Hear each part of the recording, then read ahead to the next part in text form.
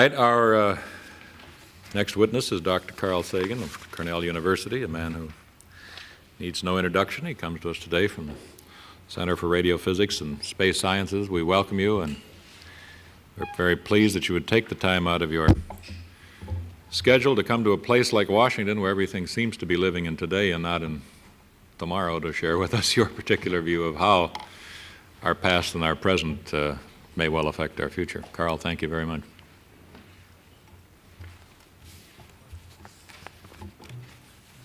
Thanks very much, Senator Durenberger, Senator Gore, Senator Burdick. I'm glad to be here. Uh, as I understand my, uh, my function, it is uh, to uh, give some sense of what the greenhouse effect is, to uh, try to say something about uh, greenhouse effect on, on other planets, to again underscore that this is, is a real phenomenon, and then perhaps I can take the liberty to say a, a few remarks about uh, uh, what to do about it. The uh, power of uh, human beings to uh, affect and uh, control and change the environment is growing as our technology grows. And at present time, we clearly have reached the stage where we are capable, both intentionally and inadvertently, to uh, make significant changes in the global climate and in the global ecosystem. And we've probably been doing, uh, on a smaller scale, things like that uh, for a very long period of time. Uh, for example, um, slash and burn agriculture, uh, which has been uh, with us for tens of thousands of years probably, changes the climate to some extent by changing the albedo, the reflectivity of the Earth. Uh, that uh, massive changes uh, have occurred is clear from the historical record. For example, Egypt was once the breadbasket of the uh, Roman Empire. Uh, it may be the same role as the American Midwest plays today. that is certainly no longer the case. It's not a greenhouse effect issue. It may be an overgrazing issue, but is an example of how humans are perfectly capable of making these unexpected and inadvertent changes. Uh, because the effects occupy more than a human generation, there is a uh, tendency to uh, say that they uh, are not our problem. Uh, of course, then they are nobody's problem. not on my tour of duty, not on my term of office. It's something for the next century. Let the next century worry about it. But the problem is that there are effects, and the greenhouse effect is one of them, which have long time constants. If you don't worry about it now, it's too late later on. And so in this issue, as in so many other issues, uh, we are passing on extremely grave problems for our children uh, when the time to solve the problems, if they can be solved at all, is now. if you um, if you ask what determines the Earth's climate, clearly the main, the main thing that determines it is uh, sunlight. Sunlight is what heats the Earth. Uh, not all the light that uh, arrives at the Earth from the sun goes to heating the Earth. Some of it is reflected back. It's just the, uh, the part that is absorbed. Uh, and what happens is there's a certain rate at which sunlight is absorbed by the Earth's surface, and there's a certain rate at which the Earth's surface radiates to space. What comes from the sun is in the ordinary visible part of the spectrum that our eyes are sensitive to. What the Earth radiates into space is in the infrared part of the spectrum, longer waves than red, that our eyes are not sensitive to, but it's as legitimate, excuse me, a, a, form of light as the kind that we're, that we're uh, used to. Now, if you calculate what the temperature of the Earth ought to be from how much sunlight is being absorbed, uh, equaling how much infrared radiation would be radiated to space, you find that the Earth's temperature, by this simple calculation, is too low. It's about 30 centigrade degrees too low. And uh, why is it too low? It's too low because something was left out of the calculation. What was left out of the calculation? The greenhouse effect. Uh, the air between us is transparent, except in Los Angeles and places of that sort, uh, in the ordinary visible part of the spectrum. We can see each other. But if our eyes were sensitive at, say, 15 microns in the infrared, we could not see each other. The air would be black uh, between us, and that's because, in this case, carbon dioxide. Carbon dioxide is very strongly absorbing uh, at 15 microns and other wavelengths in the infrared. Likewise, there are parts of the infrared spectrum where water vapor absorbs, where we could not see each other if, uh, if we were only as far apart as we are in this room. If you add these infrared absorbing gases to a planetary, uh, to a planet, then what happens is the sunlight comes in as before, but when the surface tries to radiate to space in the infrared, it is blocked, it is impeded by the absorbing gases.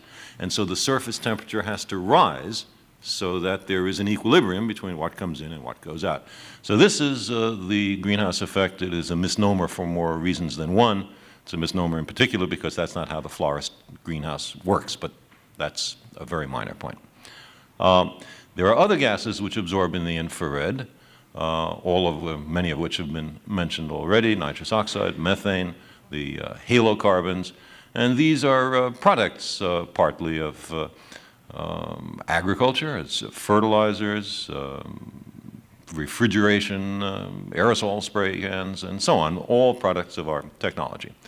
We don't generate much water into the atmosphere, but we certainly do generate a great deal of carbon dioxide through the burning of wood and uh, fossil fuels, and apparently uh, benign uh, activity. Who could object to uh, humans burning oil and coal, gas, and wood?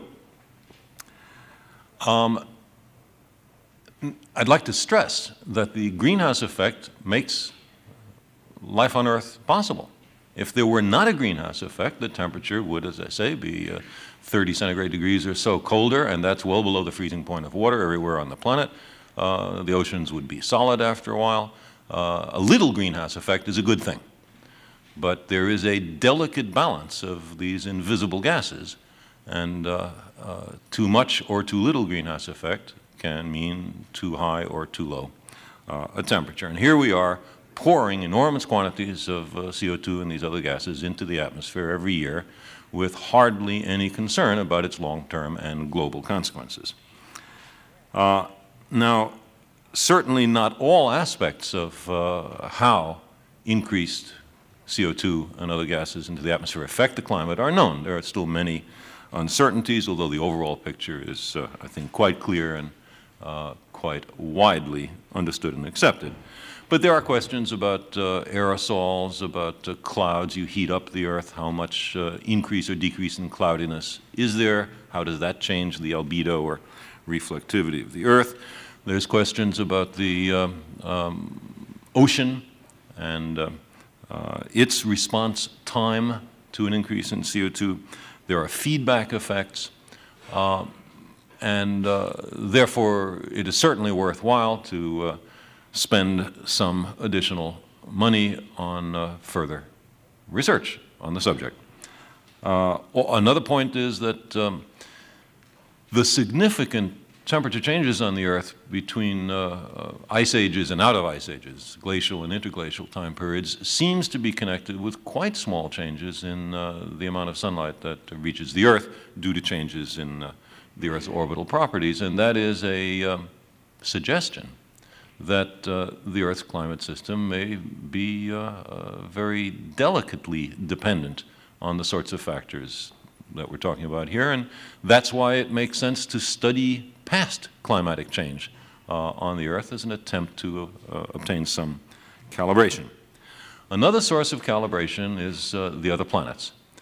Uh, every planet with an atmosphere has some degree of a greenhouse effect. The most spectacular case by far is the greenhouse effect of Venus. It's the nearest planet, it's a planet about the same uh, mass, radius, density as the Earth, but uh, it uh, is spectacularly different in several respects, one of which is that the surface temperature is about 470 degrees centigrade, 900 Fahrenheit, and that enormous temperature um, is not due to its being closer to the sun, because Venus is surrounded with bright clouds, and in fact, uh, because it reflects so much light back to space, if that's all that was happening, it would be cooler, not warmer, than the Earth. The reason for this uh, absurdly high temperature on the surface of Venus which is uh, well understood. I mean, Soviet spacecraft have landed on Venus and, in effect, stuck out a thermometer. There's no doubt that, that surface temperature is very high. Um, and, and later U.S. spacecraft have as well. Uh, the reason is a massive greenhouse effect in which carbon dioxide plays the major role. Now, the amount of CO2 in the Venus atmosphere is uh, much larger than here. Uh, the atmosphere is almost entirely carbon dioxide, and there's 90 times more of it there than here. Uh, but it is an indication of uh, what can happen in an extreme case. You look at uh, Mars or Jupiter or Titan, the big moon of Saturn, and you have additional examples of greenhouse effects. Different gases, different amounts of sunlight reaching the surface, different planetary albedos and cloudiness, uh, and in all those cases there is also a greenhouse effect. In addition, it has been possible to calculate those greenhouse effects fairly accurately so that the kind of theoretical uh, uh, armamentarium which is used to calculate the greenhouse effect, greenhouse effect changes on the Earth, is also used for other planets and therefore can be calibrated to some extent against those other planets. If we keep coming out with the right answer in all those different cases, then probably we understand fairly well how greenhouse effects work.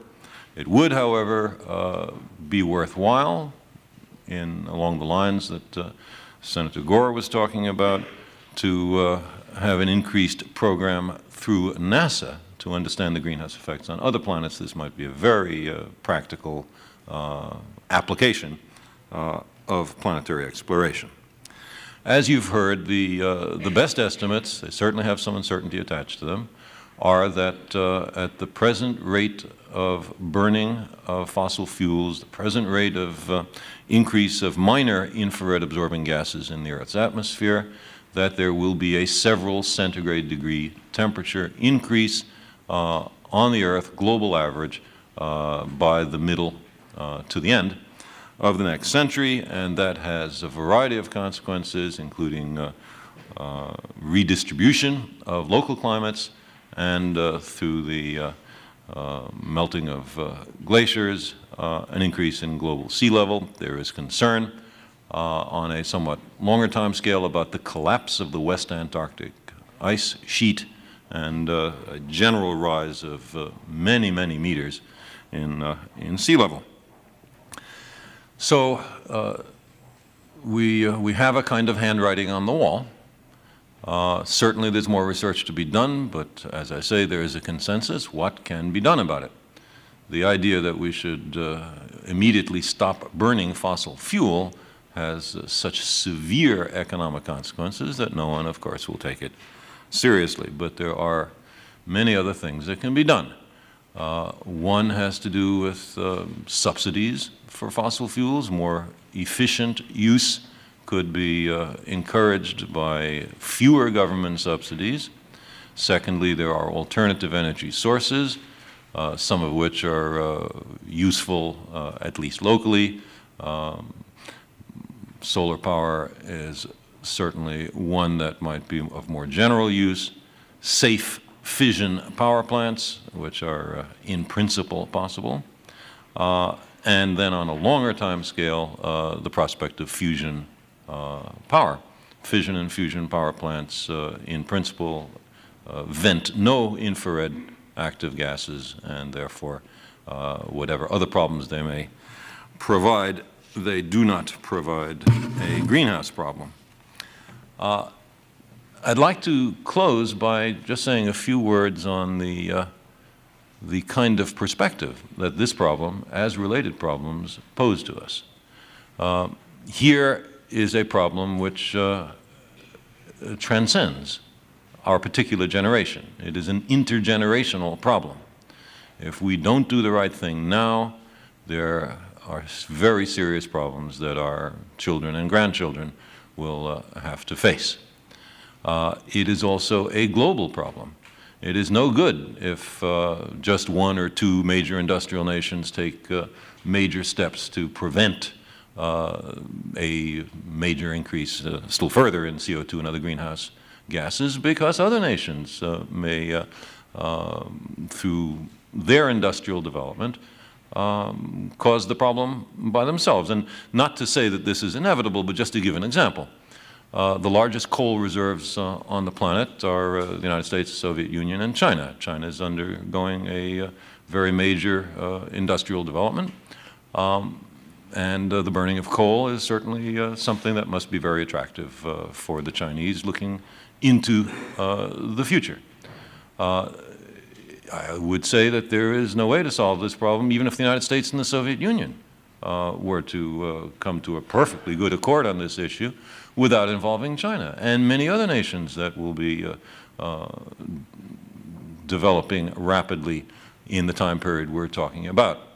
So uh, here is a, uh, a sense in which the nations, to deal with this problem, uh, have to uh, make a change from their uh, traditional concern about themselves and not about the planet and the species, a change from uh, the traditional short-term objectives to longer-term objectives.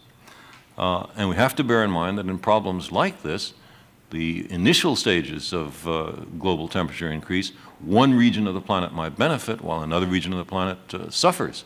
And there has to be a kind of uh, trading off of, uh, of benefits and, uh, and suffering. And that requires a degree of international amity which uh, certainly doesn't exist today. I think that what is essential for this problem is a global consciousness, a view that transcends our exclusive identifications with the generational and political groupings into which by accident we have been born. The solution to these problems requires a perspective that embraces the planet and the future because we are all in this greenhouse together. Thank you, Mr. Chairman. Well, thank you very much. Just a, uh,